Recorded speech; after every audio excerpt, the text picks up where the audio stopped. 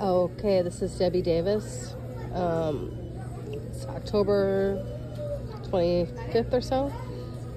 I'm um, doing a video today about this green dot debit cards. Okay, so I purchased one of these cards and uploaded money onto it because I don't my bank that I bank with Navy Federal Credit Union, which is what most military bank with, they don't have locations in every city. So sometimes I had to um, upload money onto this card um, cash because my bank wasn't close. So I uploaded cash onto this card. I got this at Walmart, this green dot card, and um, I uploaded the money, and then I went to go use it, and my card never worked. This green dot card never worked, and it wouldn't. Um, I couldn't get the card to work, so I could, was never able to use my money that I uploaded.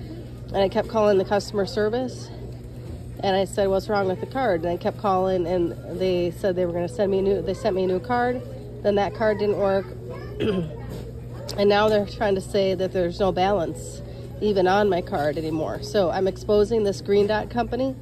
They're a total fraud.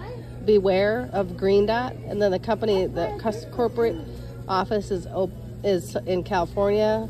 There's a lot of um, fraudulent things going on in California. So beware of Green Dot. I'm exposing Green Dot company right now.